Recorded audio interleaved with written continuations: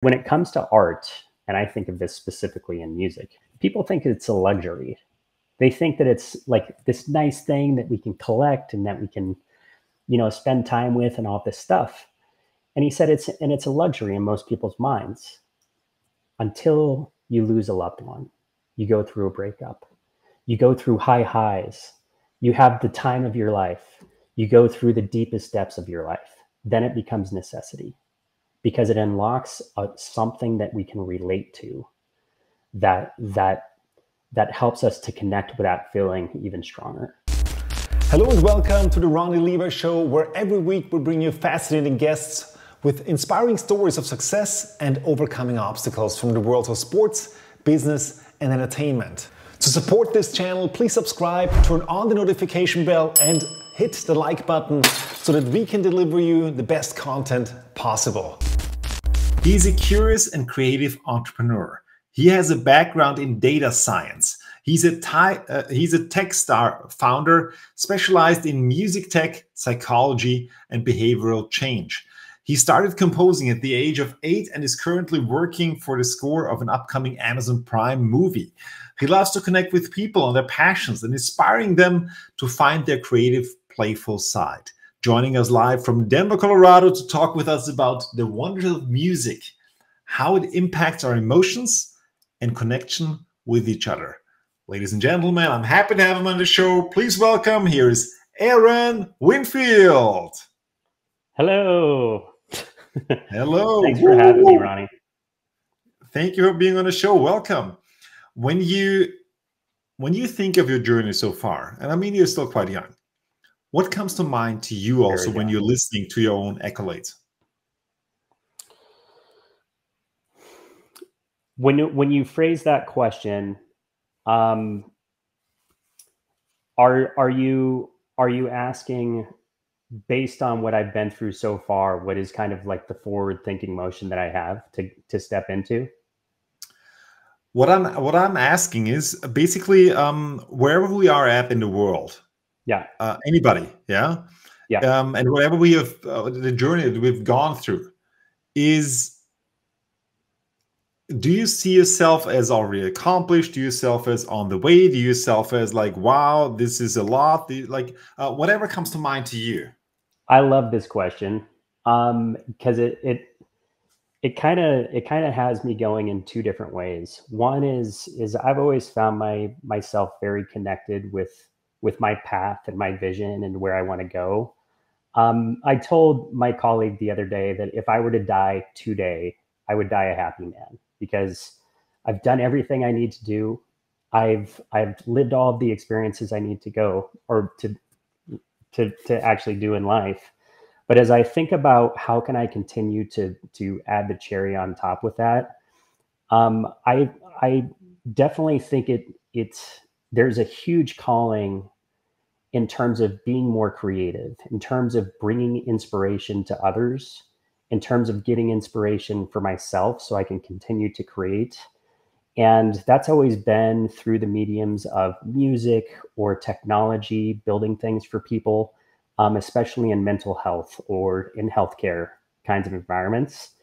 Um, but but when you frame the question the way that you did, I I can't help but think that there's a huge time right now with artificial intelligence, and especially within uh, mental health and the way that that people are receiving social media at all seconds during the day, and how disconnected we can become in a different way while being connected through a machine. Um, that causes a lot of of intense uh, emotions, including like high dopamine kinds of things. And and i feel like i feel like we're at a place where we can use artificial intelligence for good. We can use content for good um, as a power of influence and motivation to become for people to become the best version of themselves. And i think music has its place in that category as well. So i i feel like to answer your question um, long-windedly i feel like my path is to continue down the path of applying music and creative energy toward a mental health context and leveraging whatever tools and tech we can uh, to, to push that forward. Wow, very very inspiring. And, and, and you were also mentioning if you would die today, you would die a happy man, and that yeah. you also lived according to your vision. So that actually brings me to, to the next path. Um, first of all, what was it that you had imagined that you would become as a, as a kid? And also, uh, what's your vision? it's drastically different. When I was 12, I wanted to be a surgeon. And I think it's because maybe I was trying to impress my dad and and really just wanted to to to do something that was good, but also that maybe made a little bit of money. And make no mistake about a little it. Bit. I, yeah. um, make no mistake about it. I've been playing piano since I've been five. I've math and music. I often describe as my first two languages, and English is a distant third, and then German is like a distant, distant fourth. Um, but I've always had a huge calling for patterns and and sound and trying to find things um, in systems around us. And so for me, I feel like my secret mission when I was a child was to was to find the next uh, problem solving escapade in physics or in chemistry or whatever it is, or it was to become a rock star and write songs much like Bono did, um, winning, you know, getting knighted, writing poems that that that have changed many people's lives. So that's really where I think my intention was. I can say I've done a little bit of it, um, but but not the full manifestation of it. Wow, I love one thing that you said also was your first two languages are math and music. Yeah, and when you mentioned that, for many people, when they think about music, it's it's a very creative mysterium, and it, it just it vibes, it, it creates some emotions inside, it, it moves you depending on the music. You might like it, you might not like it. There's hardly any music that doesn't give you any emotion at all. And most people do not think about music in terms of maths. So, how much math is in music? For me, it's entirely filled with with math. Um, when I was five, I learned piano, and I feel like um, piano is a good instrument for kids to learn. Now, I'm biased, right? Because that's that's where I started. But but at the same time, you're learning chord structures with your right hand. You're learning arpeggios with your right hand, but you're also learning the fundamentals of bass. And within that, piano is an extremely rhythmic instrument. So you have to keep time and and keep on four four, keep on three four kinds of um, uh, patterns. And I say that very specifically because rhythm is like the first thing that comes to mind when it comes to patterns. Um, if I'm if I'm trying to see how many stories are in a building, I know that this is like a really dumb example to bring up, but if I want to just playfully count like like how many stories does a building have, right? If I'm looking at like a 25 story building, what I'll do is I'll clump it into sections that are like four four time signatures and say, oh, that's got eight bars. It's a 32 story building, right? And the same thing kind of exists within um, other. I, I feel like timing, your timing and pacing of things becomes a lot better. Um, how can I time this stoplight? How can I time when to like walk? How can I?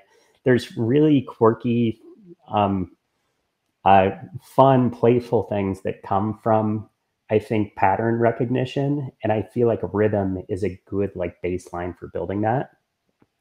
And then if you get into chords and and melodic structure and those kinds of things, it makes it a little bit more advanced of a of a pattern structure that that helps you to get curious and, and understand. Oh, there's different dimensions in which I can think about patterns. And I think that curiosity starts to extend outside of music into um, uh, other kinds of things like like doing your taxes, um, uh, clustering things during a data science problem, uh, whatever whatever that might mean, artificial intelligence algorithms, right? Um, so you you got me hooked here. Uh, when yeah. you when you do your taxes, you think about music. How does it relate? Like how how can you make somebody feel better about doing their taxes? Yeah, so it relates it's not a direct connection. Um, but but it relates in this way. So so when you when you listen to a song, right away I'll start to recognize the patterns. What's the genre? What's like how would I play if I were to if somebody were to toss a piano in my lap and then bring me on stage with with a musician I've never heard before. After hearing two bars, I could start to jam with that guy because or or gal or in between, right? Um, but but I would be able to pick up in the first. Nowadays, bars, you never know. Exactly. And the first two bars, I would pick it up and and I'd start to say, okay, they're playing a C to a G to an F to an A, which is the most convention, conventional four chord structure. But I can actually improvise and play with that, and just or add drums or whatever it might be. And when you're doing your taxes. it's not dissimilar in the sense where you might have certain expenses that you're looking for. And and it's fun like you run your own business right? I i run three or four of my own businesses. And my accountants are always impressed because i'll take maybe 10,000 rows of data and i'll categorize it into is this a software a hardware or whatever expense? And i don't use oracle or or um, uh, whatever tax software products are out there, I just use Excel. And then I find patterns in which I can isolate certain things and tag them quickly within this this 20 minute game that I'm giving myself to actually do it. So it's kind of like a Sudoku puzzle. Tony Robbins, one of my mentors, and I know that you also uh, are familiar with Tony, has said that basically there are three things around patterns that, that are very useful. First is pattern recognition. You already talked about that, like recognizing patterns. The next one is pattern utilization, like you're utilizing the patterns that you actually have recognized. And the third thing is pattern creation, like it's like a three step process. And when you're thinking about wow. like listening to you, I've heard a lot the word patterns. So can you go in depth a little bit to tell the listener or to tell our audience in what way they could utilize patterns to make their lives easier? So the most practical emerging example of of creating of of synthesizing patterns that can help you out would be artificial intelligence or or getting involved in ChatGPT and figuring out what kinds of patterns come from a prompt that you give to it, right? Um, getting involved with low code tools, for instance, that are Notion or um, other kinds of technologies where you can say, if this happens, then this happens. Or if this happens and then this happens, then this will happen. And if this happens, but this doesn't happen, then make this happen instead, right? Um, that that is kind of a, that's a good way in which I can say, I guess the summary of that is technology is bringing us to a place where we can understand our own patterns. Um, what kind of what kind of output are we looking to do? Are we trying to write a report? Are we trying to tell a story? Are we trying to um, make our work lives easier? Right. And if you can understand from start to finish to use tony robbins i forget the words you said if i can recognize what what is happening from start to finish through the entire chain how can i actually start to build the building blocks of if this then that statements that start to like build... how to utilize it as next is the next thing? Like pattern Ex- utilization is number two? Exactly. U- utilization is probably your acknowledgement that oh my gosh i recognize a pattern and I am going to to actually use my my thoughts to create a pattern that's good for me. And you said the third one was synthesis, right? Pattern creation was the third one. Pattern creation. So so I don't know exactly um, what Tony Robbins was going for. Like did it like create what, your own patterns basically? Yeah, and and for me, I'm just if I was to take this analogy to the hoop, um, we all have ways in which we think about certain things. We have thought models. We have ways in which we do things. We we wake up, we eat breakfast, we uh, we to make the breakfast, we put the cereal in, then we put the milk in, then we grab a spoon, then we put it in our mouths, and after we're done, We probably go to the bathroom. then we walk to the garage. We put on our shoes. We tie our shoes. Then we grab our keys. We go to the car and whatever. And that is all like, oh my gosh, I do that every day. I do that every day.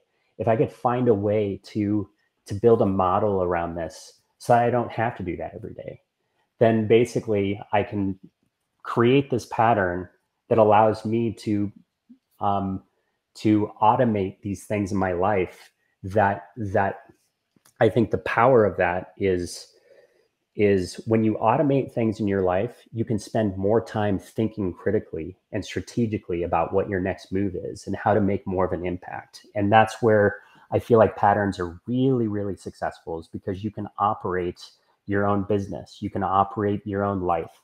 Now, obviously, you wouldn't make your own, build a bot that makes your own breakfast. Maybe you would. That's kind of crazy. There are some finer things in life, like tying your shoes is is a breath of fresh air. Um, but I give that as an example of like what what this could look like. Okay, so basically, also from in, in other words, like you're building systems. You're building yes. systems to make like for for predetermined processes to make your life easier and to think in that way like what's the system around that like what are the, the, the actions that i'm doing repetitively that i can make my life easier because that somebody else can do it or somebody else can help me with or it might exactly. be a, it might be ai that can help me with that so, exactly and to to take that to the hoop real quick um, i see a song as a system and then within that song, there are patterns that happen within that system. Like the chorus. Um, exactly. The build up and so well, I don't know what the technical words are, but no, that's those are great words for it. Okay, we're gonna get into that. So um, let's talk about music. First of all, you mentioned that, you uh, started playing piano when you were five. I also know that you started composing when you were eight. So take us uh, through your mu musical journey. Like, uh, how was that when you became a kid? Uh, when you were a kid, what were the instruments that you were learning? Like, I know that, wow, uh, for example, for my own example, I, I played four different instruments when I was a kid, and also I would like to have your take on not just your journey, but also how it actually changed the way you think like not just in terms of patterns, but I believe that there is some synapses that are being created inside yeah. the brain that only can be created through music and through having also this tact, this rhythm, this beat, this also then transfer into other areas of your life. So that those were many things dumped at you at once. So first of all, your musical journey and also how music translates into other areas. Wow. Okay. So, and you're not off the hook. I am going to ask you once I'm done with with this the four instruments that you played because something tells me we have a jam session coming up. so, so the journey. It's it's kind of a funny story. Um, my parents forced me into piano when I was five, and I for some reason I I don't know how it came up, but but I was always good at picking things up by ear. So my friends would ask me to play things on the radio, and I would just pick it out within seconds. And and that's just been a gift. I don't know if it's natural.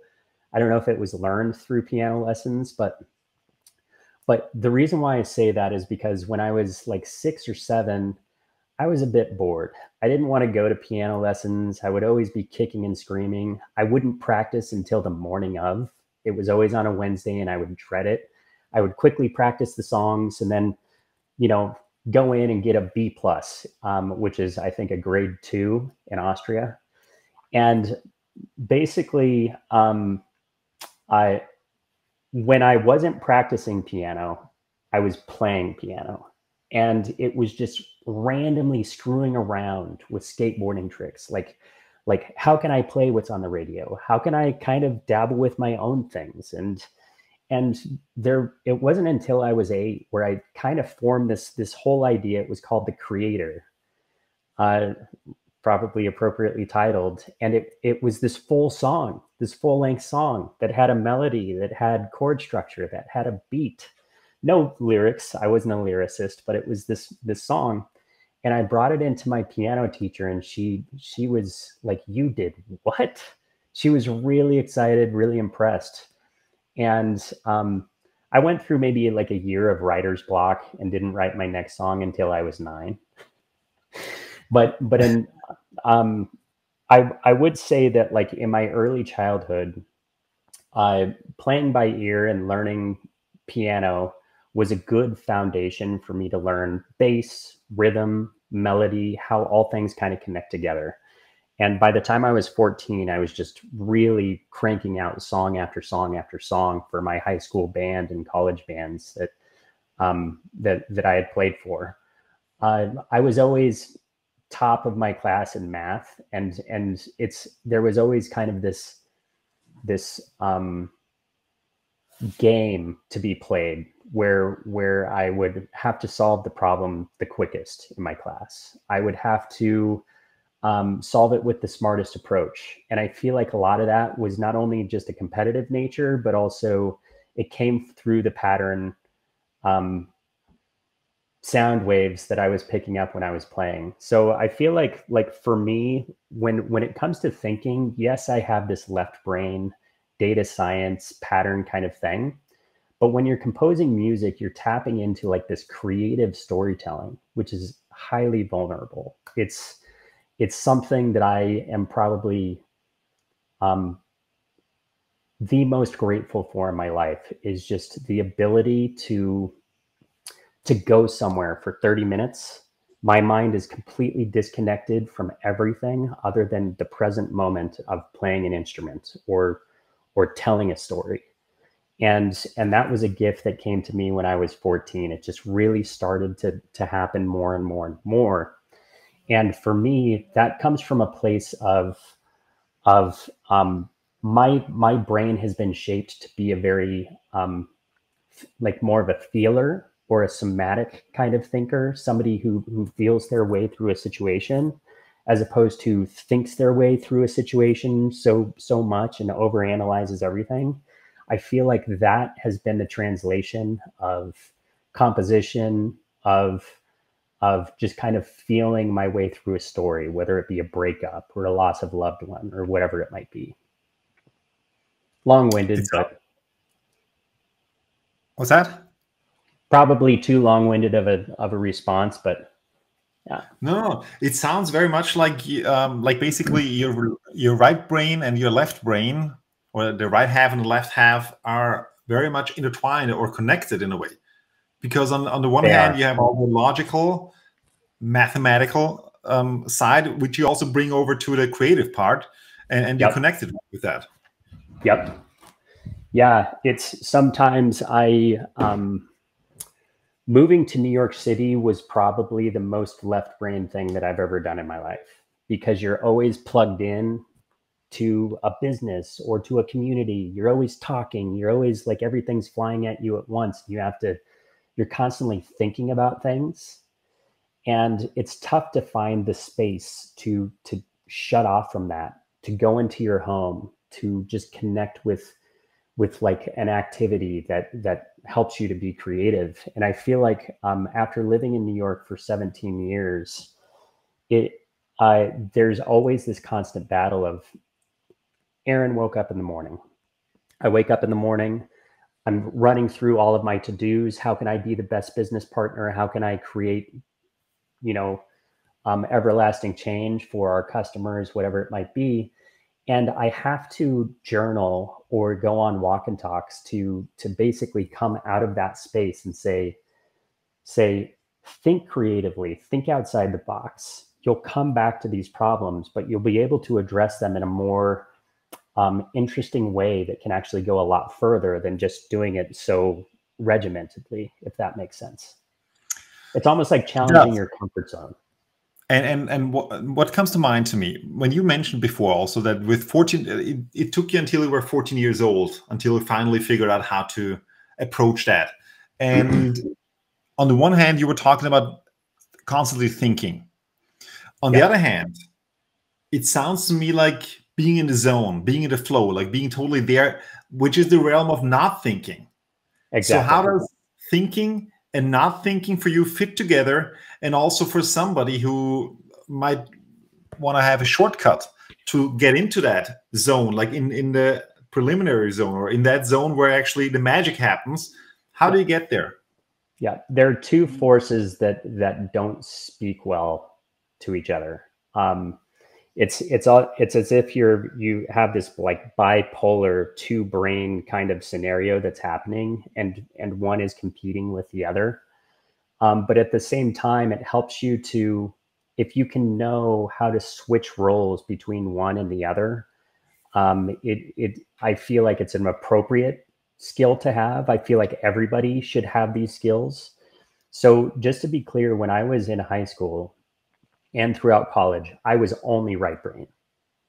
And I don't, a lot of people debunk this left brain, right brain things, but you know what I mean. Like high school, college, I was fully creative, fully like tapped into my my soul.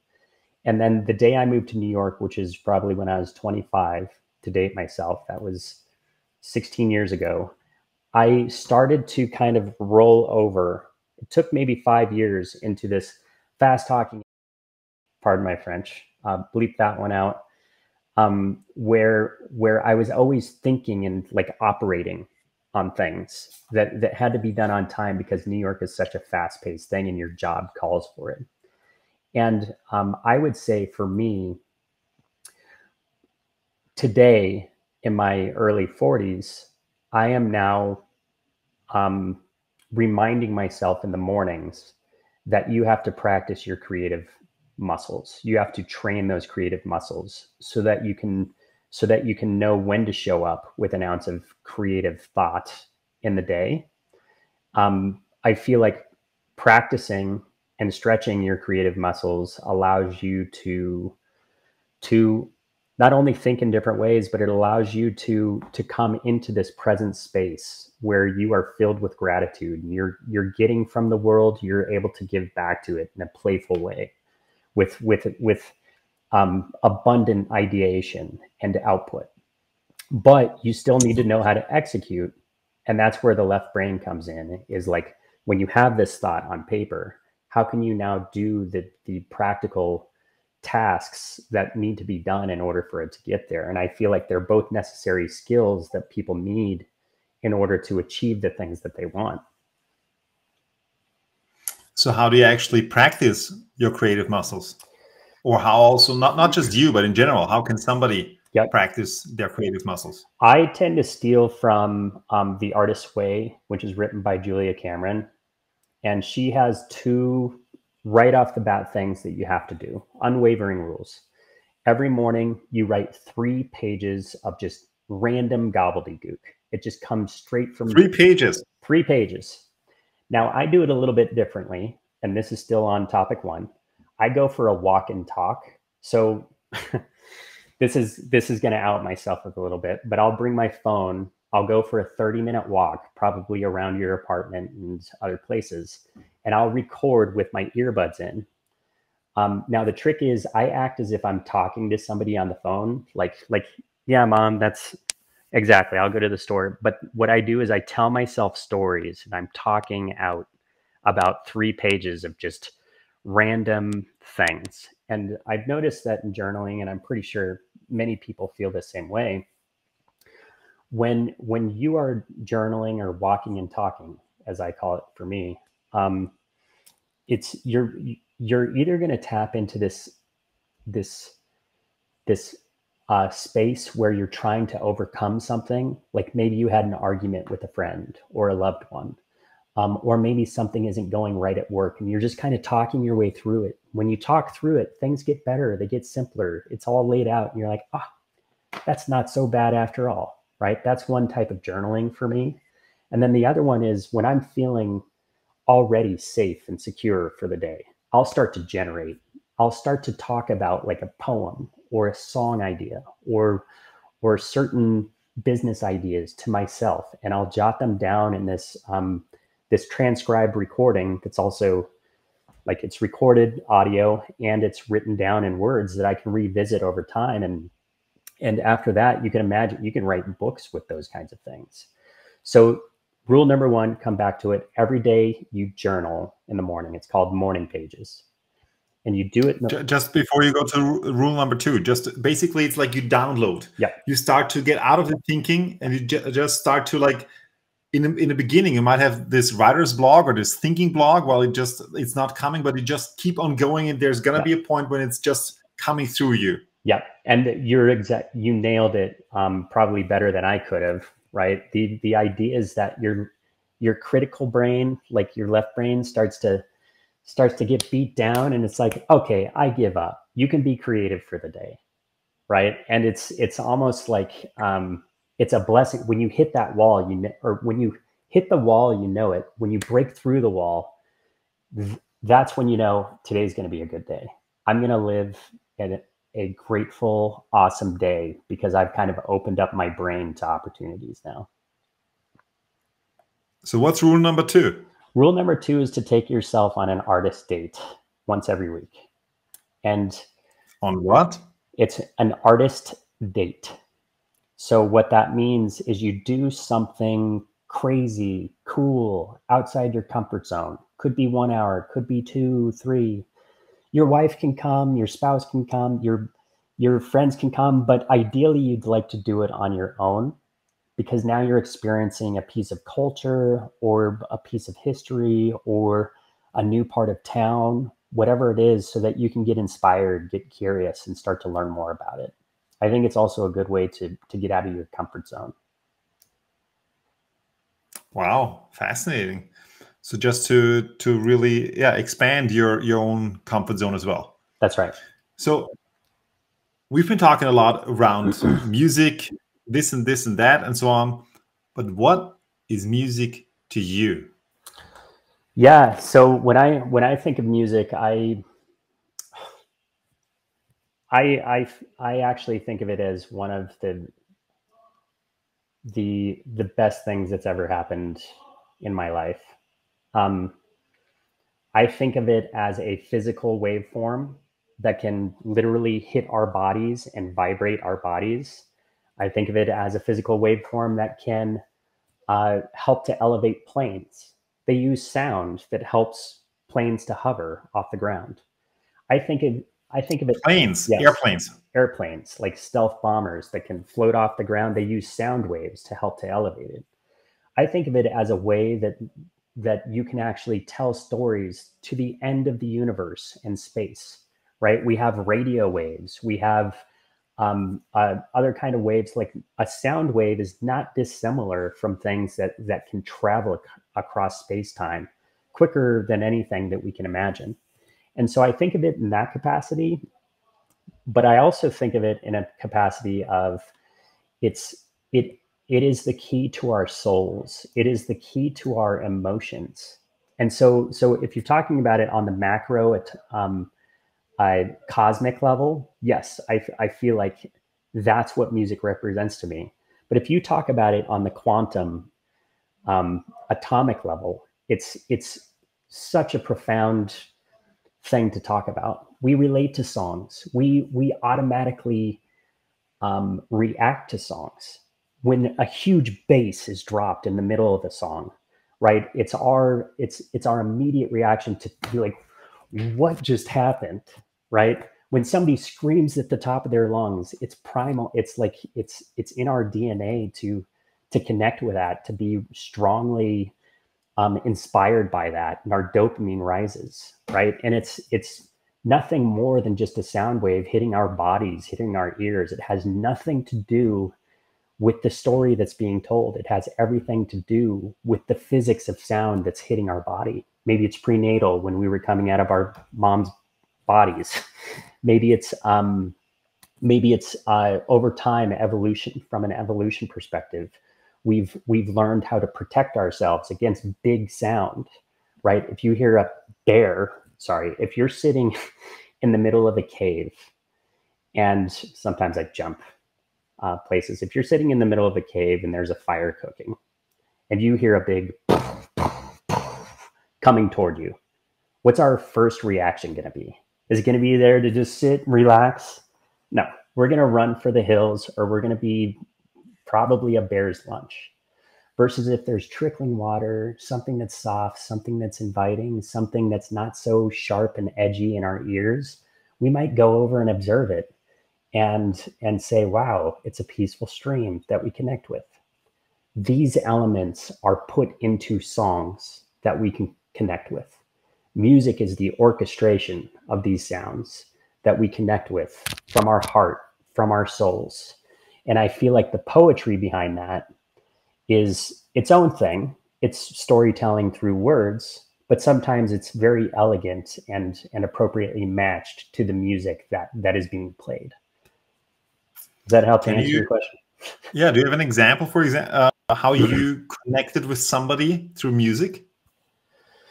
Yeah, um, many examples. Um, let me let me think about that real quick because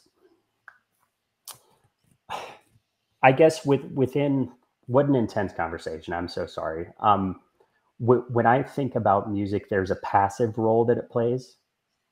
That is environmental, so it helps us to study. You've heard of the Mozart effect.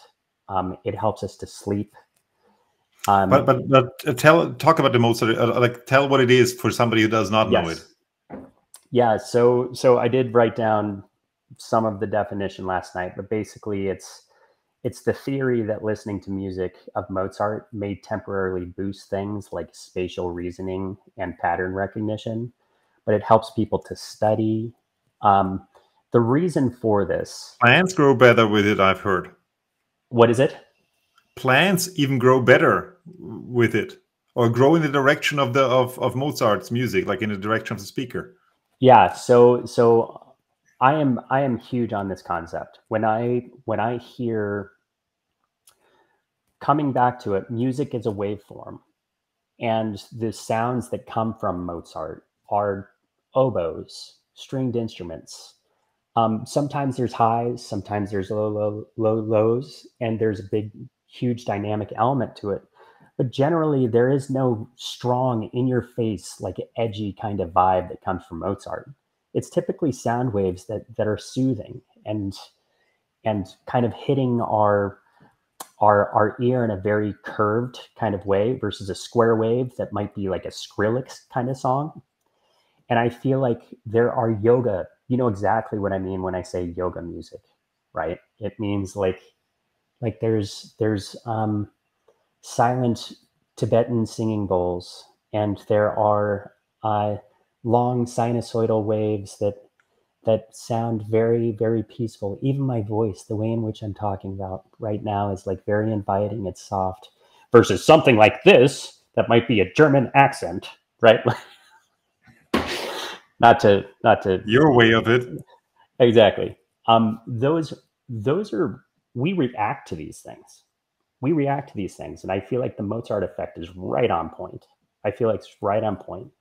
There are sound waves that are inviting for not only human ears, but for the environment in general, the Earth's atmosphere in general, for other life forms that might be plants. I totally believe that because it's a physical waveform that that that is structured in a way that helps us. So we might um, I don't want to get too sci-fi on it. Like I don't have anything to support the Mozart effect, but but, but I, I do. Um, I, I, do actually because I've I've heard about um, that, it might not just be Mozart, but in general. Um, when I when I obviously I'm from Vienna. Vienna is the world capital of classical music, and you just moved here basically. And yep isn't it a coincidence first of all for you as a musician to move like into the music capital or at least classical music capital of the world? At the same time what i've heard is and I, it might be true it might be not but i've heard it from an australian woman that she said oh vienna you have the best water quality in the world. I said really? And she said yeah it's because of the music. Yeah. And i was like wow that's fascinating yeah, because of all the classical music and so on, and because of the waves and it takes on the water. That's interesting. I um I love that connection because when I think of yoga, yoga when I think of the Spotify playlists and SoundCloud playlists that exist that are that are um, meditation music, that are sleep music, that are study music, I think water all day long. I think water, water, water. It's a smooth environment for us to get focused. And, um, you know, some of us can actually study to death metal. But when I think of of death metal or something like it, I I think of jackhammers. I think of, and now people are going to probably unfriend me or unfan me for saying these kinds of things, but but I think of what um what in in war in battle what terrorists might use to actually um, terrorize somebody. They actually use loud sounds constantly to to disrupt people's eardrums to to put them in an uncontrolled like insufferable environment that they have to live through. And i feel like you can do a lot with sound that is uncomfortable and that also even hurts.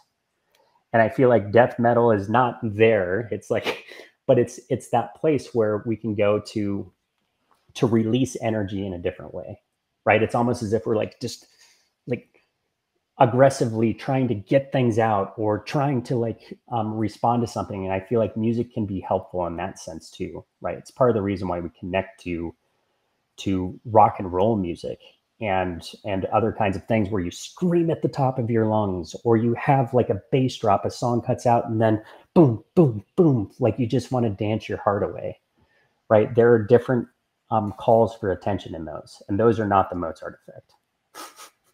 Aaron, yeah. take us with you because you are very good in, in reiterating and structuring pieces, and also for somebody who everybody has a connection with music, but the few just a few people have a connection to music that is as deep as yours because for i would say for the big majority music is something that that makes them groove, makes them feel, makes them ooh, excited, or, or makes them um, feel a certain emotional state.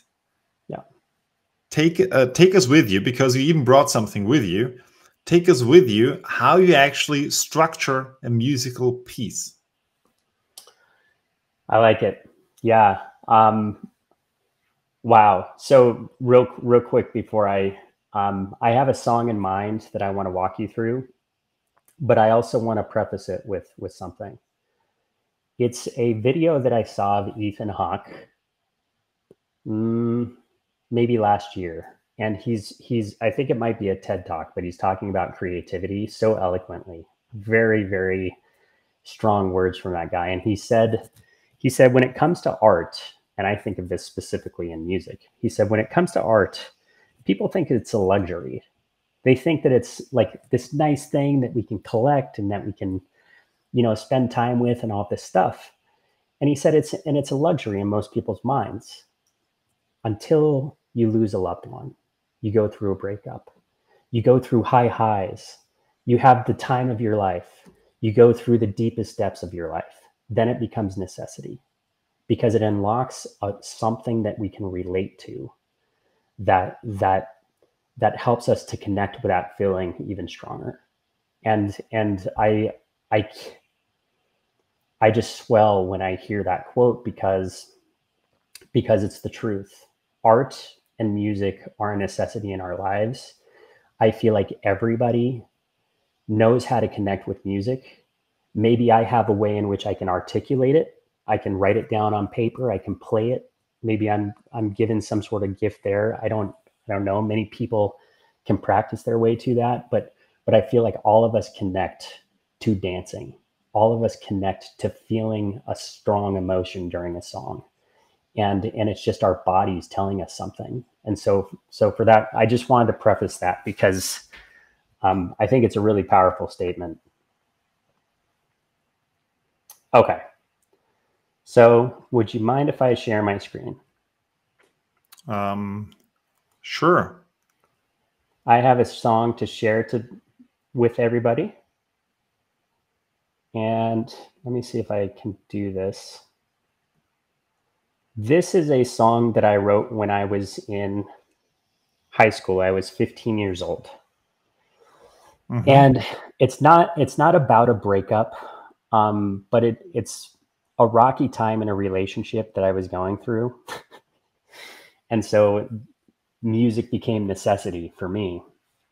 Um, but I I wasn't really into poetry when I was younger, and I also um, I would always just love to sit and and craft out the instruments and the highs and lows of a song.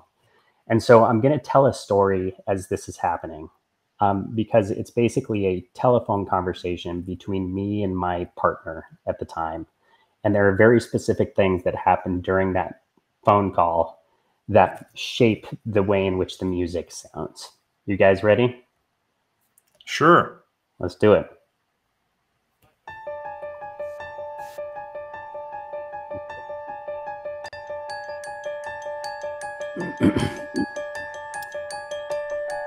so there's something that's happening during this part. It's a little bit bizarre. It's eerie. You're like in this weird space. And it's called a hemiola. And a hemiola is, is um, something where you have two time signatures that are kind of overlapping each other. The reason why that's important for this song is, be- whoops, is because um, my partner at the time and I were talking over each other. We were on a different wavelength. We weren't having the same conversation. We were talking through each other, trying to get our points across. There was even then eventually there was this peaceful pause in the conversation. And she started telling me about her day. And we were connecting, having this awesome um, uh, conversation with each other. She went to the grocery store and was picking out like all of her items, all of the stuff It was just small talk. And then eventually she had the nerve to tell me that there was this guy at the grocery store that started hitting on her. And I got really upset.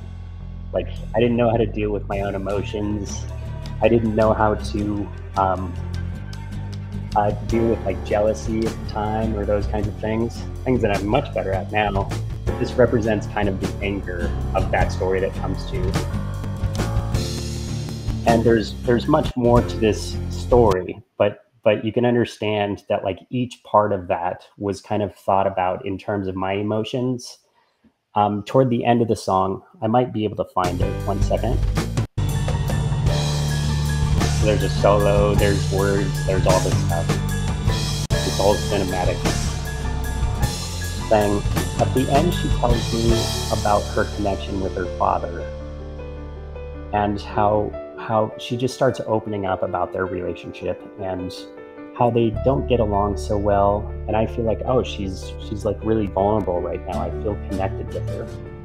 And you know there are choppy parts like her and her father get into arguments um, but there's this big build that that just kind of like starts to emerge and i feel like we became even more and more connected in that conversation. Um, and this part draws out kind of a bit too much. It's like it Um, but at the end, there is a coffee shop outro because her dad was driving home and she was grounded, wasn't supposed to be on the call, and we had to we had to get off the call. But basically, it's this cafe like acoustic guitar outro that I can't seem to to grab there. So, so, so everything basically packed into into music. Wow, exactly. Aaron, our time has really been flying. First of all, tell us if somebody would like to get in contact with you, where can they find you? Yeah, best place is going to be musiceverywhere.io is the best place to go. You can see the projects I'm working on. I'm releasing a project with SoundCloud. Um, that's a that's an easy, fun way for people to find concerts in their city. Um, there's other kinds of uh, um, uh, mental health projects I'm working on with music, but my email is down there, musiceverywhere.io. Awesome. Any last 30 second piece of advice that, or, or something that uh, final thoughts that you would like to give our audience with, like a 30 second one? I hadn't come prepared for that, but I, I would have to say that um, uh, life is precious and it's important that we connect with it. We connect with our own creative energy. We connect with our families. We connect with our loved ones. And, and that we pick up on other people's stories. We, we dare to actually um, feel an emotion from it. And we also create our own stories so that we can inspire and impact others. Very beautiful. Thank you so much. That was a beautiful, beautiful show. It was really inspirational and also inspiring. Thank you so much. A big hand, Aaron Windfield. Woo! Thank you. Thank you, everybody. Thank you for sticking with us until the end. To make this content even more valuable for you, please leave a comment below and share your thoughts and also share this video with somebody you care about who absolutely needs to see this. Thank you very much. Have an outstanding day and see you next time.